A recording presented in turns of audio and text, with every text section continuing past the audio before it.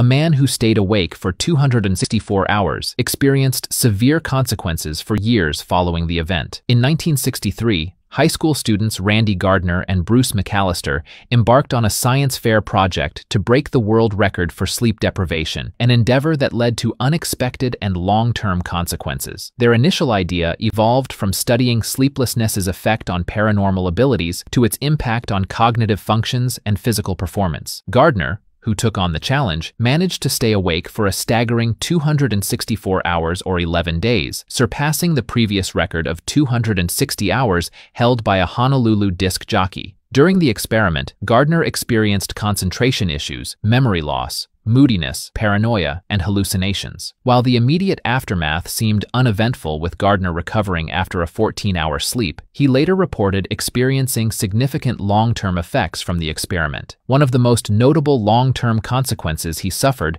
was severe insomnia. He described this period as being awful to be around and mentioned that everything upset him, likening it to a continuation of the effects he experienced during the experiment. This indicates that the prolonged sleep deprivation had lasting impacts on his mental and emotional well-being. Severe sleep deprivation can lead to cognitive impairment, such as reduced alertness and difficulty multitasking. Emotionally, it can cause mood changes, including increased anxiety and depression.